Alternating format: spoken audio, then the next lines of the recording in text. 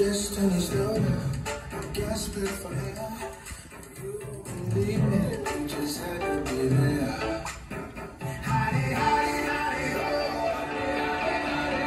I'm addicted to the fire.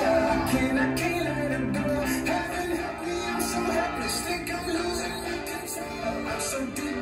I'm so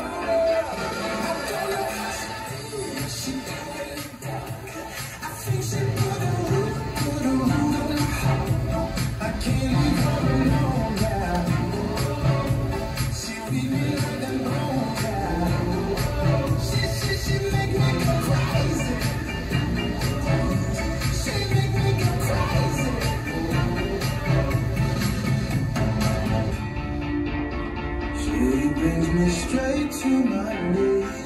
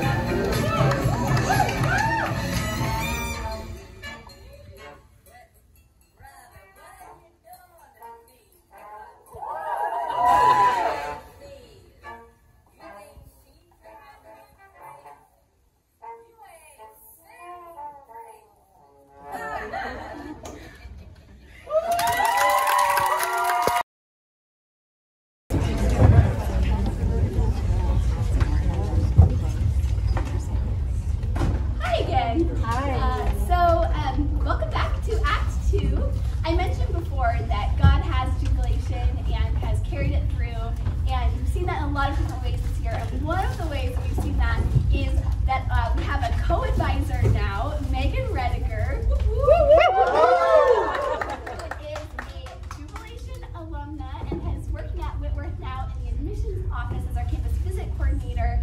And that means that we were able to tap her to be an advisor for Jubilation, and she has stepped up for Jube in big and small ways this year. She has amazing marketing and graphic design background and has been able to do a lot of that for Jubilation, both as a student in Jube and now as an advisor. And we're going to get to see her dance. So um, we're going to see a duet um, between Abby and Megan. And here's what they wrote. Abby and Megan have been friends for the last three years and met here at Whitworth in Angela Pearson's music. Megan was able to bring Abby out of her shell and help bring her into Jubilation. They got to dance together every showcase after that, and it has been a joy for them to share their love of faith and dance together in this club. Megan is an alum of Jubilation, has been involved in this year year in many ways behind the scenes with things like music and photography and videography and so much more, and has been someone for Abby to lean on as she navigates the challenges and privileges of leading this club. Megan quickly grew into one of Abby's best friends, and they cannot not imagine their lives without each other. Abby says this duet is one that we worked together on for Spring Showcase last year.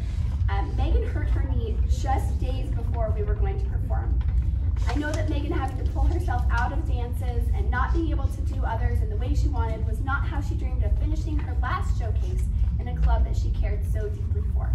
As a student who knows what it is like to not be able to get closure or say goodbye to the one thing you poured yourself in nearly um, for nearly your whole life, dating COVID, Abby knows she wanted to give Megan the opportunity to do this piece again, and um, uh, yeah, to Abby it was no brainer. She hopes you enjoy this fun little duet as much as they love dancing it. Yeah.